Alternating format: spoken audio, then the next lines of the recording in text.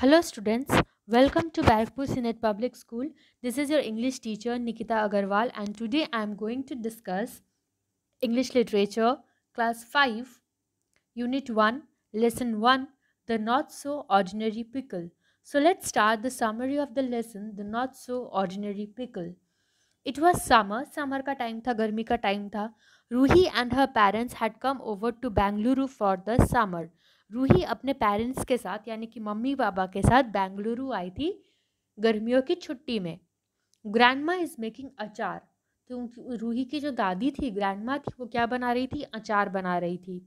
Ruhi asks grandma why don't you get it from supermarket तो रूही ने अपनी दादी से पूछा कि आपको इतनी मेहनत करने की क्या ज़रूरत है?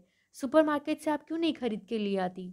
दादी had gone on to cutting the mangoes carefully दादी क्या कर रही थी? मैंगोज को काट रही थी, आम को काट रही थी, आम का अचार बनाने के लिए। No pickle can taste like homemade one, दादी रिप्लाइड। तो दादी ने कहा कि कोई भी अचार, बाज़ार के अचार, घर के अचार के तरह का टेस्ट नहीं देता है। And spices oil chillies this seeds salt and garlic added to his spotting all the ingredients suddenly she had brain wave Dadi recognized the symptoms that means a question was coming up in Ruhi's mind.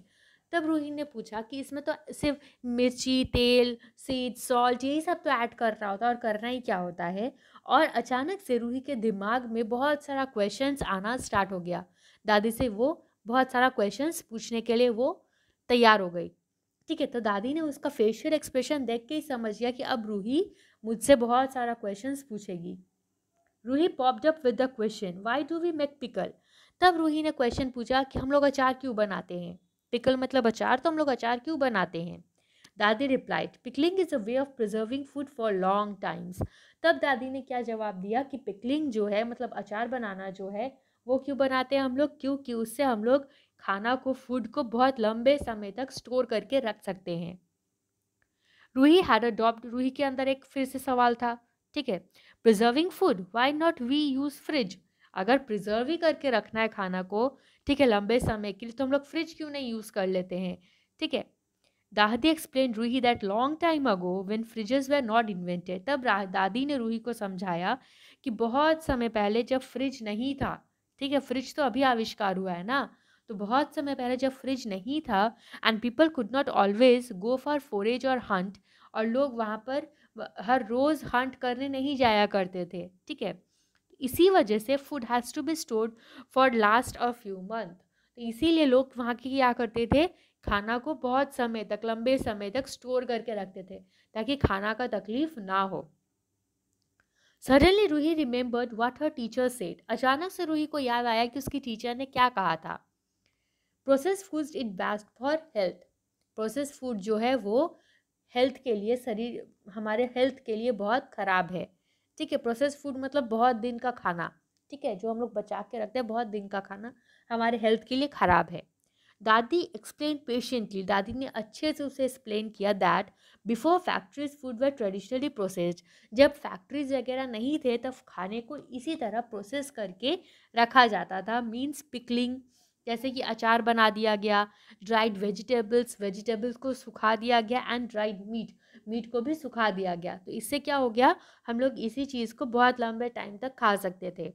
Off she went to the kitchen to dry roast the spices और वो kitchen में चली गई मसाले को dry roast करने मतलब भूनने के लिए, ठीक है? Ruhi followed her absent mindedly Ruhi भी जल्दी जल्दी अपनी दादी के पीछे पीछे उसको फॉलो करने गई।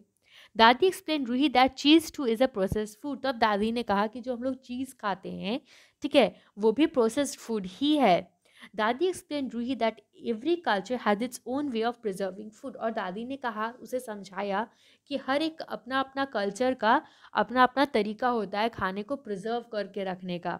ठीक है even jam is also processed food और दादी ने कहा कि जो हम लोग जैम खाते हैं, वो भी प्रोसेस्ड फ़ूड ही है। ठीक है Dadi explain Ruhi about fermenting and many more things दादी ने रूही को फर्मेंटिंग के बारे में समझाया और बहुत सारे चीज़ के बारे में समझाया। तो फर्मेंटिंग के बारे में दादी ने क्या समझाया? दे कि in some countries like sauerkraut from Germany and kimchi from Korea there is sun drying we make peppers that way why kishmish raisins are not but sun dried grapes तब दादी ने समझाया कि जो हम लोग पापड़ बनाते हैं, किशमिश बनाते हैं, वो सब क्या है? वो सब इसी तरह फर्मेंटिंग के ही थ्रू हम लोग बनाते हैं, ठीक है? किशमिश हम लोग ग्रेप्स लेकर के उसको धूप में सुखाते हैं और वो धीरे धीरे वो किशमिश बन जाता है, ठीक है? तो दादी ने और क्या समझाया कि native American cure strips of buffalo and bison meats तो दादी ने बताया कि नेटिव अमेरिकन के जो लोग होते हैं, वो लोग बफेलो और बिजन के मीट को प्रिजर्व करके किस तरह रखते हैं, ठीक है? Brining is curing with salt and water for short time वो लोग क्या करते हैं? सॉल्ट और वाटर से उसको बहुत देर के लिए भिगो के रख देते हैं, ठीक है? ताकि वो लॉन्ग टाइम तक ख़राब ना हो। If it is long time then it's pickling अगर लॉन्ग टाइम के लिए रखना है तो सबसे बेस्ट है अचार बना लो, ठीक है?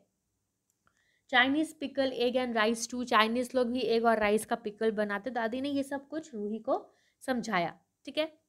Dadi explain Ruhi that preserve food is not as healthy as fresh food but some nutritional value तब दादी ने समझाया कि हाँ प्रिजर्व फ़ूड जो है वो फ्रेश फ़ूड के कंपैरेटिवली उतना हेल्दी नहीं है, पर न्यूट्रिशनल वैल्यू उसमें भी है, पौष्टिक तत्व उसमें भी है। Pickling introduces vitamin B produce by bacteria था दादी ने कहा कि हम लोग जो अचार खाते हैं तो उस अचार में क्या होता है? विटामिन बी होता है, जो कि बैक्टीरिया प्रोड्यूस करता है। ठीक है बैक्टीरिया है जो विटामिन बी को प्रोड्यूस करता है। दादी explained Ruhi that recent studies have discovered that fermented foods were good for stomach. तब दादी ने कहा कि हाल फ़िलहाल में जो एक एक्सपेरिमेंट हुआ था रिसेंट स्टडीज़ हुआ था, उसमें बताया गया था कि फर्मेंटेड फ़ूड जो है वो हमारे स्टमक के लिए बहुत अच्छा है ठीक है, हमारे पेट के लिए बहुत अच्छा है at last Dadi asks Ruhi to help her to fill the jars अब लास्ट में दादी ने कहा कि अब बहुत हो गया। अब कोई क्वेश्चन आंसर मत पूछना हमसे। अब तुम मेरी हेल्प करो क्या करने के लिए? मेरे साथ ये आम का अचार को जार में भरने के लिए। Ruhi grinned and reached for them Ruhi गई और जा करके जल्दी जल्दी अचार को उस जार में भरने लगी। सो आई होप कि ये जो लेसन है, ये तुम लोग को अच्छे से समझ में आया है the not so ordinary pickle इस लेसन को अच्छे से रीड करोगे, इसका क्वेश्चन आंसर्स वगैरह सब कुछ तुम लोगों को दे दिया गया है ई डायरी में। वहाँ से तुम लोग क्वेश्चन आंसर्स वगैरह पढ़ लोगे, नोट डाउन कर लोगे और चैप्टर को अच्छे से रीड करोगे। Thank you.